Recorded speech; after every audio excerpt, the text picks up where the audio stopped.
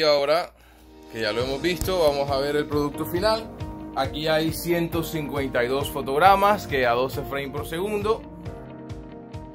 De animación, así que vamos a ver qué tal se ve.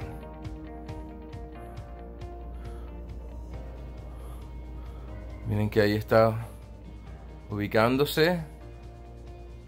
Gira y le salen los ojos y ataca. Entonces vemos que hay diferentes ritmos, cosas que no a veces están quietas, pero igual como cada foto está iluminada diferente se sigue en movimiento. Y aquí se repliega, le salen ojos y ataca. Entonces, son las consideraciones a tener en cuenta. Las cosas que son lentas toman muchos más fotogramas. Estamos hablando de 30 fotos, eh, a veces 40 fotos. Eh, y cómo los elementos se mueven de maneras que sean interesantes.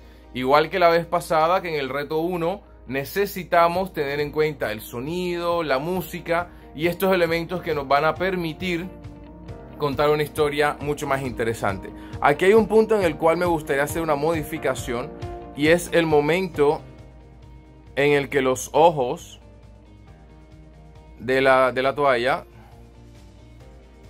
aparecen. Aquí, por ejemplo, él empezó por, por las cosas técnicas, no hubo más tiempo, pero yo puedo tocar ese fotograma, darle copiar y pegar un par de veces. Puedo pegarlo, pegarlo, pegarlo.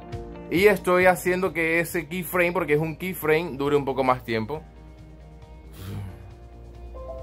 Vamos a verlo una última vez.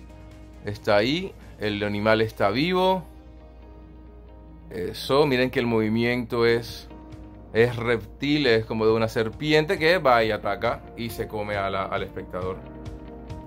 Ahí lo tienen. Entonces, eh, ese es un poco el referente de stop motion. Colores, si tienen cosas del mismo color, pueden jugar también con eso en, en, en el stop motion. Por lo pronto, si quieren exportar este contenido, le pueden dar clic sostenido al video y vean que acá hay unas opciones de exportar. Lo pueden exportar en el primer, la primera opción es para exportar la película. La segunda es para exportar un GIF.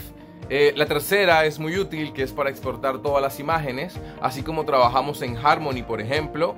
Eh, pueden exportarla y pues, pues va a ser mucho más sencillo luego en After Effects o en Premiere hacerle correcciones.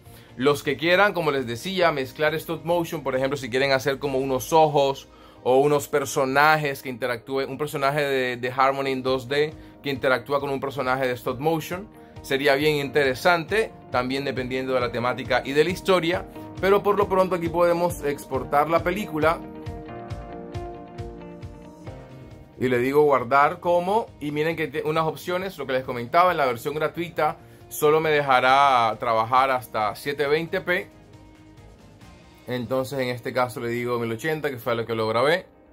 Y él empieza a renderizar las imágenes en una película. Y listo, ahí le doy guardar. Y ya está, ya puedo ir a mis videos y reproducir el archivo o compartirlo o llevarlo a Premiere y él lo va a exportar por defecto en 12 frames por segundo.